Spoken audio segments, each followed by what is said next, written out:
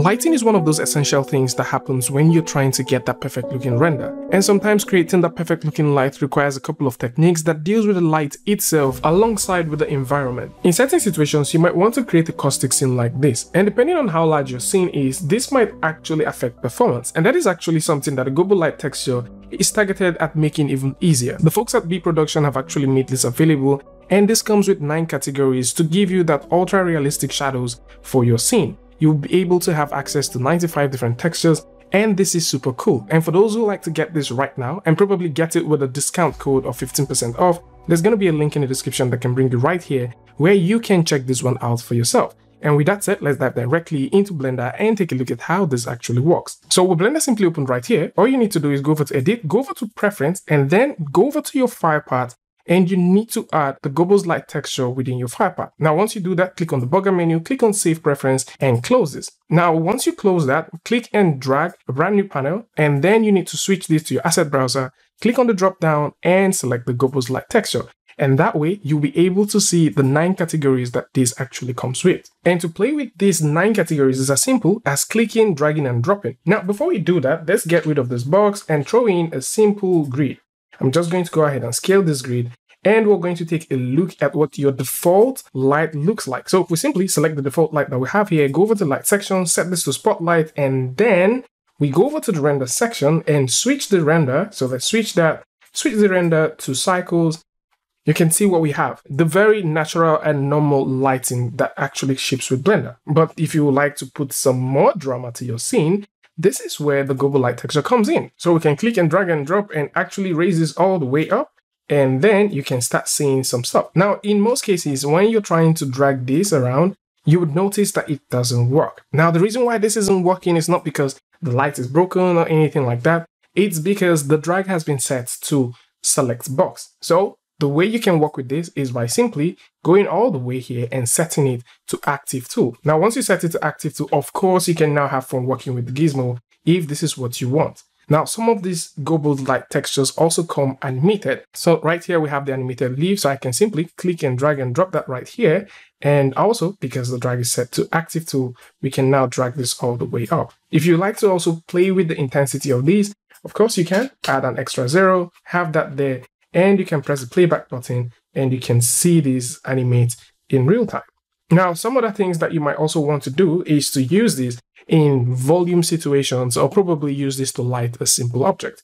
And this is also very interesting. So for this, we are going to get our very favorite lab rat, Susan. So I'm just going to drag Susan right in here and raise her all the way up. And of course, we're going to do a simple rotation, subdivide her a little bit. And for sure, we are also going to go through and throw in a simple light. So in this case, we were going to get a simple light like so. Just drop that right there. So it's going to be facing her. Move this over to a position, raise this all the way up, and we can position this however we want. So with a positioning like this, we can start doing some very nice things. Now, if you're thinking about increasing the spotlight size, of course you can. If you like to soften this, you can go over to the radius and soften it. And this way it will soften the entire thing that you have in here. And in most cases, you might not want to have all of this very sharp, you know, beam shape around the cone. You can also go over to the blend and sort of blend that just about a little bit like so. So with this, you can start creating some very interesting things. So we can go ahead and, you know, change the color of the light if this is what we want. Now, if you're also thinking about faking caustic, you know, like we talked about earlier, if you're thinking about faking caustics, you can. Let's go ahead and reposition this very well. So I'm just going to position that about the point like so, looking nice. So if we like to fake caustics, doing that is super easy. We already have our default object within our viewport. Let's go ahead and throw in a simple cube. Now, once we get this cube, scale this cube all the way up. And next thing to do is to add a shader. So for this shader, I'm just going to go ahead and drag this all the way up and switch our viewport panel that we just created to the shader editor. Now within the shader editor, I'm just going to click on new and then we don't want the Principled BSDF. What we're looking for is the shader that deals with the Principled Volume. So I'm going to click, drag, drop, set this to volume, and automatically this becomes the volume. You can't see this now because we're looking at this with a viewport shading. If we like to see this clearly, we need to switch over to cycles. And for this, I'm going to drop density to maybe 0.5, something like that. Or we can actually drop this 0.3, looking nice. So if you're thinking about getting that fake caustics, instead of going all the way to sort of figure this thing out, you can just go to the caustic section. There's a number of caustic stuff here. You can pick from any of this. Click, drag, and drop this. Actually, let's drop this right here. And we can position this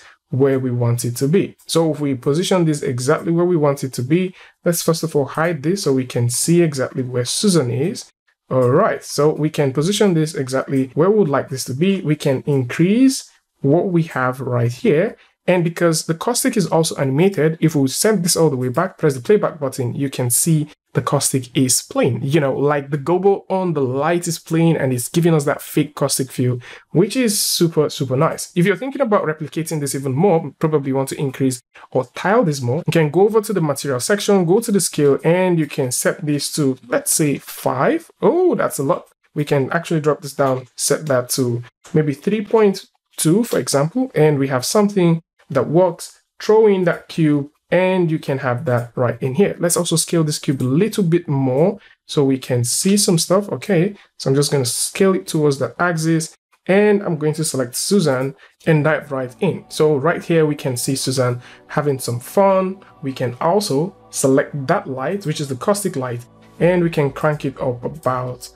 one more. So right now, we now have the caustic happening exactly how we want. At any point in time you like to change the density of the caustic, of course you can also do that. We can set this to 0.2 for example, have some more lights come in there, go over to the light section, which is a caustic, and we can crank this up even more. We can change the light as we want, and you can start playing with this and creating some very interesting things for yourself. So this is more like it. For those who like to get this, probably want to do some window stuff, you're thinking about playing with some leaves, you're trying to get some grid-like stuff, some geometry stuff, some forest stuff, some cloud stuff, you know, caustic, abstract, all of these are right here and you can actually go ahead and grab this right now from the folks at B Production and add some sense of realism to your renders. Right now, this is going for 15%, and for those who like to get this and also get it for 15% off, links to this is going to be in the description alongside with the coupon code, so do well to check it out. Tell me what you guys think about this one in the comment section, and of course, if you like this video or you learned something from this, you can go ahead and give a like and don't forget to share with a friend.